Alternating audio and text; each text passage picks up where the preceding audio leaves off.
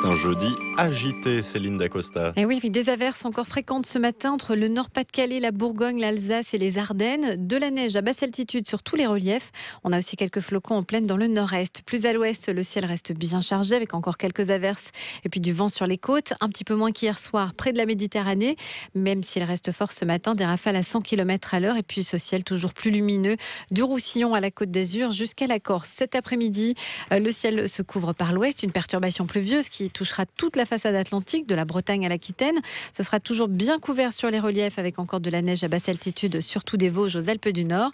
Et puis au sud-est, de belles éclaircies et un vent qui se calme un petit peu plus. Ciel plus mitigé pour le reste du pays avec de belles éclaircies attendues au nord de la Seine. Les températures assez douces dans l'ensemble, un peu fraîches dans le nord-est. Et oui, avec de petites gelées. Les minimales vont de 0 à 7 degrés. Il fait 0 à 3 degrés dans le nord-est. Un petit peu plus de douceur au nord-ouest et près des côtes avec 8 degrés à Brest, 10 à Biarritz et même 12 à Nice. Et puis cet après-midi, Météo France prévoit de 5 à 12 degrés en général, 14 à 16 près de la Méditerranée. Merci Céline.